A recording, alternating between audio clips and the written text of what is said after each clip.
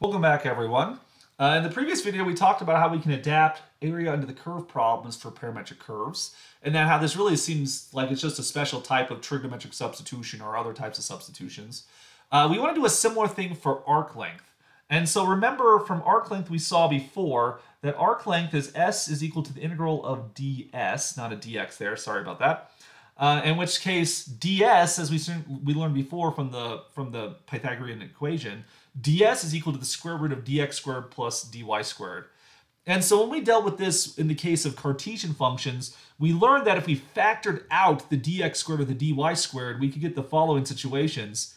Uh, I guess I can just put it right here. This could be written as the square root of 1 plus dy over dx squared dx, or we could write this as the integral from the square root of dx over dy squared plus 1 dy like so. So by factoring out the differentials dx squared or dy squared, we could adapt this so we could integrate with respect to x or with respect to y.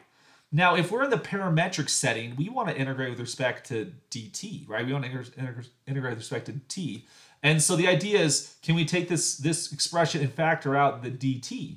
Well, if you do that, when you factor out dt squared away from, I guess we should factor out a dt squared, we're going to factor that away from the dx squared, in which case we're going to get dx over dt squared.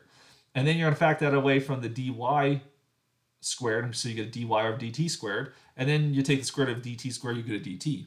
So ds can also be adapted for this parametric setting in a very, very simple way. It's really, really nice. And so let's apply this to some parametric curves we've seen before. Take the parameterization of the circle we've seen many times. x equals r cosine theta, y equals r sine theta. Let's adapt, the, let's adapt it to this setting. So the arc length S, we're going to integrate one complete cycle, so 0 to 2 pi. Um, that's our parameter there, theta. Uh, and so we're supposed to take the square root of dt. So we're going to take the square root of the derivative of x squared plus the derivative of y squared.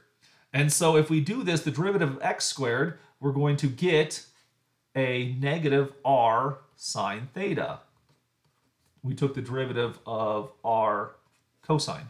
But we also want to take the derivative of r sine with respect to theta. And so we're going to get r cosine theta squared. And so trying to simplify this thing, uh, we're going to end up with 0 to 2 pi. Inside the square root, we're going to get r squared sine squared theta plus r squared cosine squared theta Take the square root dt. Uh, so we can factor out the r squared. And so then you're going to get a sine squared theta plus cosine squared theta. This is inside the square root. We're integrating from 0 to 2 pi dt. And sine squared, sine squared plus cosine squared, we've seen that before. We know what that is. That's equal to 3. Oh, I'm just kidding. That's equal to a 1, right? And so you're going to get the integral from 0 to 2 pi you get the square root of r squared dt. That'll just become the r squared, the square root of r squared will just become an r. And so you integrate with respect to t, you're going to get rt from 0 to 2 pi. And so that's going to equal 2 pi r, the usual formula for there's the circumference of a circle. And we did this example previously when we did arc length. We calculated the circumference of a circle. We did that in Cartesian coordinates. This is basically the same thing. It's just in Cartesian coordinates, because you have to take the you have to take an integral of the square root in it, that leads itself very naturally to a trigonometric substitution. And that trigonometric substitution, without realizing it, is a parameterization. Every trig sub that we have done in this series is a special type of parameterization. You're parameterizing a function using trigonometric functions like we've seen many times in this chapter already. Um, let's look at another function we, we know very well, the cycloid. We keep on seeing it. It has a very nice trigonometric parameterization. The x-coordinate is given as r times theta minus sine of theta. y is given as r times 1 minus cosine theta. Can we find the length of a single arch of a cycloid, which would be this arch right here? So one arch will correspond to theta, will range from 0 to 2 pi. And so by the formula, the arc length s will equal 0 to 2 pi, we have to take the square root of, well, we're going to take the derivative of x with respect to theta. That's going to be r times 1 minus cosine theta. That's squared. We add to it the derivative of y, which is going to be r times sine theta squared d theta. And so multiplying out the things inside the square root, we're going to end up with an r squared times 1 minus 2 cosine theta plus cosine squared theta. And then we're also going to get an r squared, r squared times sine squared theta. This all sits inside the square root d theta. So some observations to make here. Notice that everything is divisible by r squared. We can factor that out and then take the square root of r squared. That's going to give us an r that sits in front of this thing. r times the integral from 0 to 2 pi. Then we're going to get the square root of 1 minus cosine squared theta plus cosine squared theta plus sine squared theta. This one we know and love. Cosine squared plus sine squared, of course, is equal to 1. So this right here is just equal to 1, which we can combine this 1 with the other 1. Oh, there should be a 2 right there. Uh, 1 plus 1 is 2. And so notice now we have a 2. Well, I'll write it out. We then have r integral from 0 to 2 pi. We're going to have the square root of 2 minus 2 cosine theta d theta. So there's a factor of 2 which we can factor out from both of these things. And since it's inside of square root, it will actually be a square root of 2.